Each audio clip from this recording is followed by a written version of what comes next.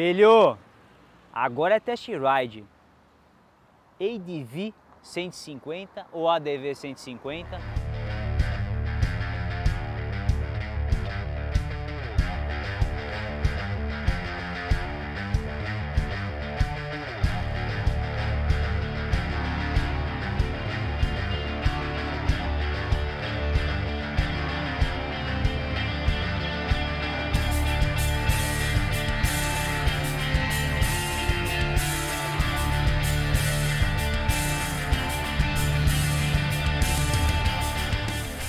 Vai que ela não para, né? ela... Essa é só na frente. É só na frente. Essa moto aqui, ela encaixou muito bem pra mim. Eu tenho 1,74, até tava falando com, com, o Marcelão, com o Rodolfinho, tá não sei o que, um tem 1,80, 1,79 e tal. Ficou bom também. Então a parte de conforto, a parte de pilotagem na motocicleta, ela ficou muito boa para uma scooter, é, bem ergonômica mesmo, tanto aqui, nessa, nessa pegada, padrãozinho, quanto na estrada durante deu, deu uma cansada, você quer dar uma esticada aqui na perna, tá, não sei o que, deixar o pé um pouco mais confortável, numa, num posicionamento mais é, próximo do custom, vamos dizer assim, você vai estar tá com um bom apoio aí também, sem ficar com o pé tão dobrado, forçando aqui a, a panturrilha, então isso é legal. O ângulo de caster aqui a gente tem uma diferença de, é, em relação a PCX, é, meio grau, então essa aqui está com 26,5, a PCX 27, e esse meio já foi o suficiente para trazer o guidão mais perto e inclusive deixar um pouco mais alto, que é para ficar mais confortável. Então essa pegada deixa você é, para um rendimento maior, é, longos quilômetros tal.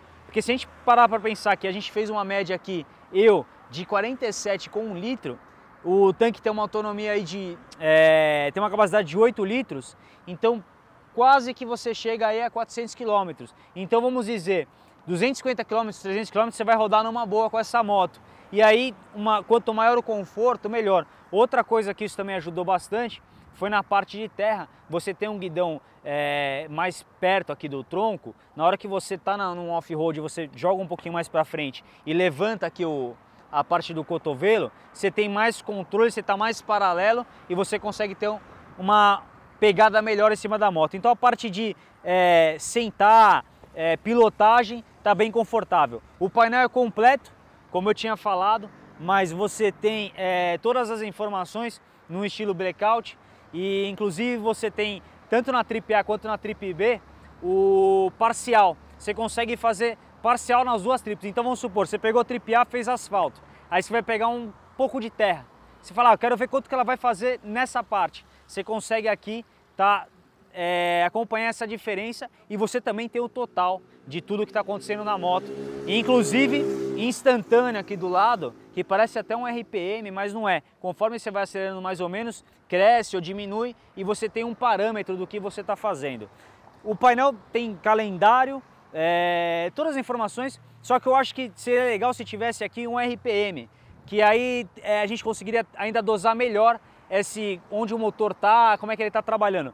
Lembra que eu falei que o, o, a admissão aqui mudou também em relação ao PCX? Então assim, a motorização é a mesma, ah, beleza, 13.2 cavalos, só que o torque dessa aqui vem a 6,5 RPM, 1,38, na PCX é 5. E isso porque aqui a gente tem 2 centímetros a mais nos dutos, a diferença aqui no escapamento também, numa é, maior vazão, e fez isso acontecer o quê?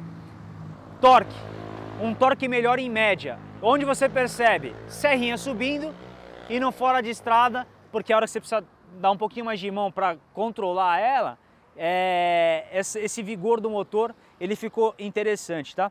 Então aqui a gente tem uma proposta de motocicleta que, na minha opinião, não derruba ninguém. Então se você vai começar com essa moto, é, nunca andou numa scooter, ou mesmo é a primeira, cara, você vai gostar bastante aqui. E se você tem uma trail, por exemplo, e sei lá, no dia a dia tá cansativo, tá com essa moto, cara, vem pra cá porque a suspensãozinha é mais alta, você vai ficar confortável e não vai ter aqueles impactos de suspensão de scooter mesmo. A gente está falando de um curso aqui de 130 milímetros na dianteira, 120, só que aro 14013 ela ficou alta. Pô, distância do solo aqui, 16,5 a 107,95.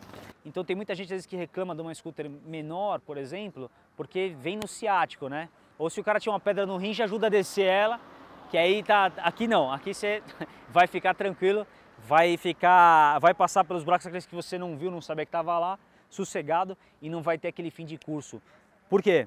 Aqui atrás, se você reparar, a gente tem um trabalho triplo na mola. Então, aqui ó, mais comprimido para evitar o fim de curso, intermediário, que é para um off-road, e mais aspiral, que é para o urbano, para copiar melhor, tem mais progressivo. Aqui não é gás, tá? É um reservatório do óleo para ajudar a trabalhar. Muito bem, então é, na hora que a gente fala dessa suspensão, fala desse pneu, cara, foi um casamento tão luxo que na serra era possível eu fazer curvas. Quem tem medo de pendular, por exemplo, consegue fazer curvas sem sair da moto e a moto está na mão, pneu grudado no chão, conseguindo acelerar porque o motor não assusta. Então você consegue ter uma, um, um, um handling com a moto muito legal sem ter frio na barriga. Claro, se você quiser dar até uma penduladinha para facilitar mais, você consegue brincar bastante. Mas quem não tem noção, cara, vai se divertir muito. E o pneu gruda, gruda, é, a suspensão trabalha bem, a gente pegou umas partes ali que não... É, tinha até um, umas diferenças de asfalto e é, passava ali tranquilo. Trabalhei até às vezes o freio traseiro no meio da curva para trazer ela um pouquinho mais, para trabalhar melhor o traço numa boa também.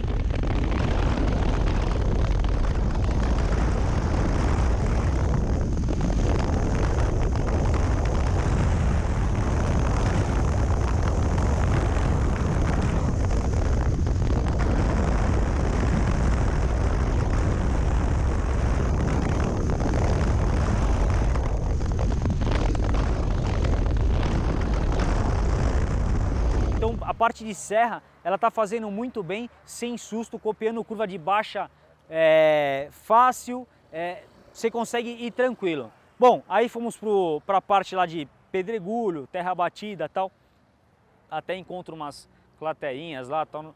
É aquele, aquele, aquele entrada de fazenda, né? Ou trilhinha luxo, não é, é não estamos falando de é, pulo, costela, a gente está falando disso aí, estamos falando de uma terrinha.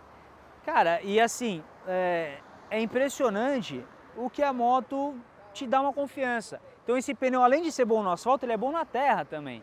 Então a moto tava o tempo todo tranquila.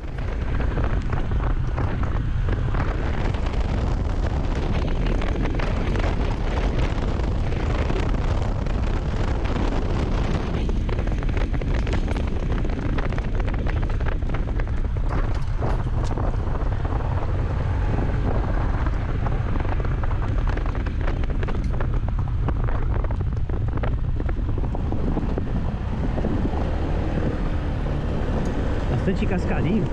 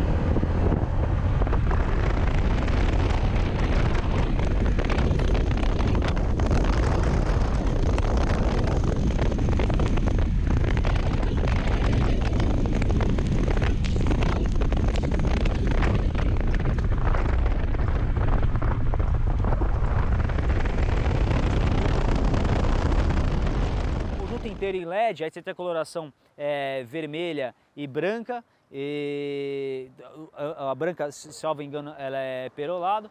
O valor dela aí, fora o frete, é 17,490 Distrito Federal e em São Paulo que teve uma pegada no imposto lá 17,790. Então não falo muito de valor porque sempre tem a variação de concessionária, mas a galera pergunta, então é isso aí. E outra coisa interessante também é a questão da bolha, você ter as duas regulagens, onde eu deixei mais fechada para trecho urbano e mais alta para um, um trecho off-road também. E o que eu posso falar para vocês é que quem procura a primeira scooter ou quem até mesmo vai, vai migrar da PCX, o cara, como assim vou migrar da PCX por essa aqui é o mesmo motor? Cara, é o mesmo motor, só que funciona um pouco diferente. Pode ser que você tenha o mesmo final, o final real dela pelo Instituto Mauá é 101 km por hora, só que a questão é, é que a pilotagem dessa moto aqui está muito superior a, a PCX. Fora o design também que está superior, eu acho muito mais bonito, eu acho muito mais robusto, é mais sofisticado, é mais atualizado, mas é tá bem legal. É, o que, que eu poderia, o que, que poderia ter, na minha opinião, podia ter a opção de desligar o ABS também na dianteira, porque no off-road faz diferença não ter ABS na traseira, que foi o que eu falei no review e ninguém entendeu nada. Pega ela, vai no off-road, você vai entender o porquê que não tem ABS, entendeu? E com um pneu desse aí, cara, sobra. E tem o ABS na dianteira. E o ABS na dianteira, legalzinho também, luxo. No, no off-road foi bem, na, no, aqui sensacional. E aí assim, podia desligar no off-road completo, sabe? Você tem a opção de desligar ele completo. E um, uma outra coisa talvez que vocês é, podem é, estranhar, por exemplo, é que para você ligar a motocicleta, você tem que apertar o freio traseiro e aí você vem cá e dá a partida. Isso porque daí acho que talvez você fique com as duas mãos no guidão e então é mais seguro mas podia também ligar na dianteira. Tem scooter que liga nos dois, né? Então tem essa, essa pegada aí também.